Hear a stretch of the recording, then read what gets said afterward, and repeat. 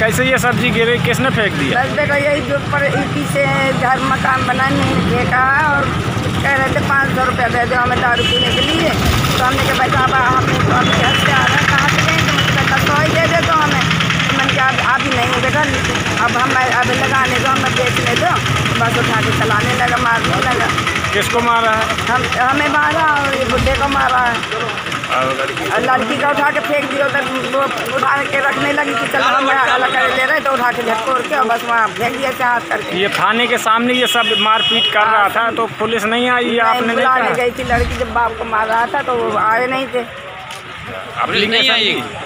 नहीं आई? थी बेटा। आई थी बात फिर बात। के आई जब वो चला गया। क्या नाम है आपका? शकीला बात सुबह की घटना है जिस समय सब्ज़ी लगाई जाती है। एक सब्ज़ी विक्रेता थे, उन्होंने सब्ज़ी लगाई तो अगल बगल में कोई डाल थी जो टूट गई थी तो एक स्थानीय व्यक्ति ने विरोध किया था। तो हल्की सी कहा सुनी हुई थी, थाने पर कोई तहरीर प्राप्त नहीं हुई, तब तक थाना प्रभारी पहुँच गए, क्योंकि थाने के नज़दीक था। उन्होंने समझा दिया दोनों पक्ष को कोई और बात नहीं